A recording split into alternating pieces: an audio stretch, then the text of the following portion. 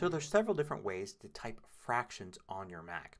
You may have already noticed that if you type some common fractions like 1 half using a number like 1, then the slash key on your keyboard, and then another number like 2, you get the little suggestion there for a special character that's a 1 half character. And if you just hit the spacebar it actually replaces that automatically. And this happens with a variety of different fractions like 2 thirds for instance. And you can see it's, they look a little different.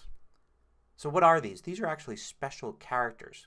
And when you type 1 slash 2 and hit the spacebar it automatically replaces those three characters you typed with this one character that looks like a 1 half fraction. You can see this if you go to System Preferences, Keyboard, and Text for text replacements. There are several default text replacements placing 1 slash 2 with the 1 half character, 1 slash 3 with 1 third, and 2 slash 3 with 2 thirds. So what are these special characters? Well, if you type Control Command Space you come up with the special character and emoji viewer here. And if you search for fraction you can see a lot of these. There's actually more than just those three there. So there's the 1 half, there's a 1 third, there's 1 fifth, 2 fifths, all the way uh, to 4 fifths. There's uh, only 1 sixth and 5 sixths. There's 1 eighth, 3 eighths, 5 eighths, 7 eighths. So there's a bunch of different ones here. Even 1 seventh, 1 ninth, and 1 tenth. These are special characters that are part of like the universal character set that all computers have. So you can actually use the 1 quarter character. I can just click on that and this is a single character and that should show up okay in just about any computer. Now what if you want to use a fraction that's not one of those few that have special characters?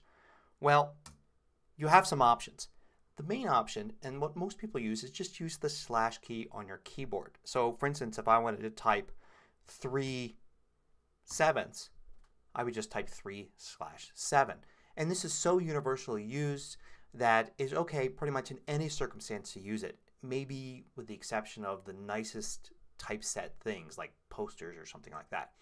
But typically you can see this everywhere. You can see this in textbooks. You can see this uh, in examples online and everything. Now this is a very important method of doing it because it's the method that the computer understands when you're doing math calculations. So for instance I'll do Command Space to bring up Spotlight here and if I type 3 slash 7 you can see it actually calculates the result. So in a math equation I want to definitely use this technique. So it's nice sometimes when the way that you put something to be in a nice word processing document and the way that you type something into Spotlight or Calculator or some other type of app is the same. It's the same characters that you type. So you can just use a slash for fractions. Now you can make things look a little bit better. For instance, I can select that first character there and I can go and change the baseline to make it superscript and then maybe make this second character here, the second number, the um, baseline subscript. And that creates a nicer looking fraction. Matter of fact, you even have the option to use a different slash. So if you might have noticed when I do control command space and search for fractions that there's a another slash there and you can see that slash has a little bit more of a diagonal line than the regular one. So you can use that. Uh, there are other things that you could do. You could decide uh, to you know, shrink the size of these numbers a little bit. Uh, you can use the baseline, uh, you know, raise and lower a little bit or even make the denominator default and there's lots of things you can do. You can play around with it until you get something that looks like what you want to see. So you have that option as well. So in Pages you have another option because in Pages you can do mathematical formulas using insert equation. Now you think you'd be able to type something like 3 slash 7 and get a nice looking fraction. But in fact you don't. You just get 3 slash 7. So it looks like maybe it doesn't do anything special with fractions. But there's a special function there. If you do a backslash, not a regular slash but a backslash, and FRAC, that's a special function. Then you do curly brackets and the first number, the numerator, and then curly brackets with the second number, the denominator, you get a nice fraction. And you could put any number you want in there. So 1377ths for instance or 777ths.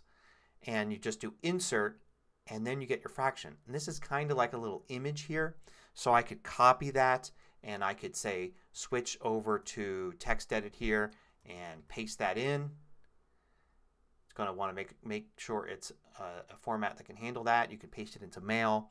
Um, so you can do these cool fractions using the insert equation function in Pages and then go ahead and copy and paste that elsewhere if you need it somewhere else. Oh, and a couple quick notes here. If you're using Microsoft Word, you can also do insert equation, but you don't have to do any special functions there. You could just actually type 3 slash 7 and hit return and it will convert it to a cool little fraction there. And in addition, whether you're using TextEdit, Pages, Word, whatever it is, if you want to type the divide symbol, like you actually want to do an equation and show divide, just hold Option and then regular slash and you get a division symbol.